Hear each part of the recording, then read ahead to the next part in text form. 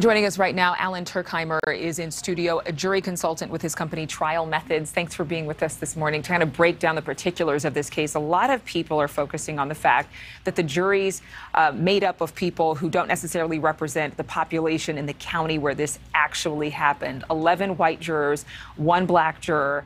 What did happen, and, and was this actually uh, um, a selection that would actually the, the problem here is that so many people are thinking this was a discrimination case.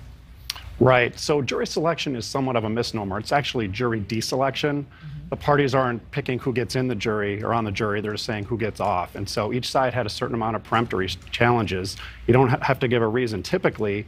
And what happened was the three defendants had 24 of those, and the prosecution had 12.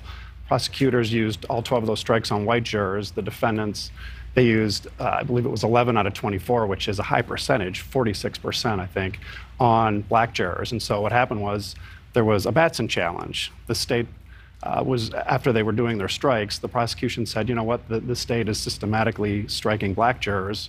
And the judge essentially agreed. It was, it was a strange uh, declaration because he said that, yeah, it looks like there's discrimination. But at that point, then, the state gets to give a race neutral explanation. And if it's accepted, then the jury jurors are seated. And it, it's not a high hurdle to give a race neutral explanation.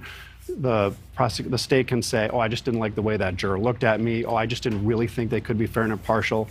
But the judge has a lot of power and discretion. So after the process, 11 jurors are white and one is black. But it does seem kind of interesting that just from the looks of things, and, and the fact that the judge said the words, there appears to be intentional discrimination, it would cause at least most of us to pause and say, well, you know, what is this here? And, and is this legal? And in the same breath that he said there was intentional discrimination, he was saying that all of the reasons that the defense laid out for each juror to be eliminated were legitimate and clear. So why even bring up the discrimination point?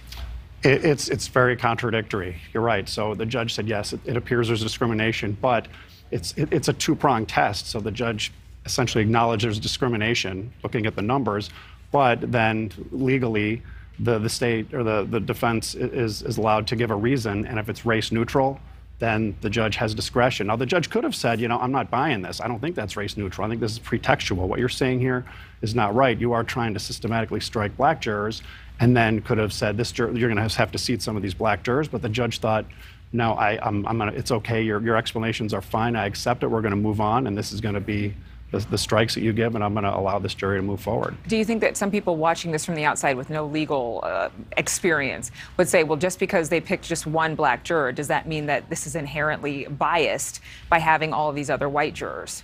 it feels tainted. If you have a community, Glynn County is 25% African American, so on a jury of 12, that would be three jurors. Having one doesn't feel right. So I can understand why people are upset about it. It's not an actual fair representation of the community. And one of the problems is, I've seen this, and there's, there's a lot of literature on it. When you have diverse juries, the, the deliberations are much more rich, they, they cover more ground. Assumptions are questioned, people bring to it different viewpoints, and even white jurors, they tend to scrutinize evidence more when they have to explain things in front of black jurors and, uh, and other minorities. So it's, it's a good thing that there's one black juror on the panel that um, will, will play a part in the process. But um, moving forward, it's also something to keep in mind. All hope is not lost for the prosecution. White jurors convict white defendants all the time. I mean, it's, it's certainly an uphill climb, and on the surface, it looks good for for the defense, but overall, I, I, wouldn't give up if I was a prosecution. I think there's a good chance they'll get convictions. And in terms of any complications or mistrial claims that could happen as a result of the first statements made by this judge about discrimination, do you think that that could be foreseeable? I don't think there's going to be a mistrial. That would terminate the trial before there's a verdict. And because it was the judge's own ruling, I don't think he's going to backtrack and reverse himself. Possibly an appeal down the road, although it's, it's nearly impossible for the prosecution to appeal an acquittal there, are, there could be federal charges and other ways to try to get these defendants convicted, but I, I don't think there's going to be a mistrial, and I, I, certainly think an appeal would be challenging if there was some type of acquittal. A big case that a lot of people are watching. Thank you so much, Alan, for being with us today. Thank you. Nice oh, to be oh, here. Nice to have you. Thank you so much for watching. Make sure to click on the red subscribe button below so you can get more of News Nation's fact-driven, unbiased coverage.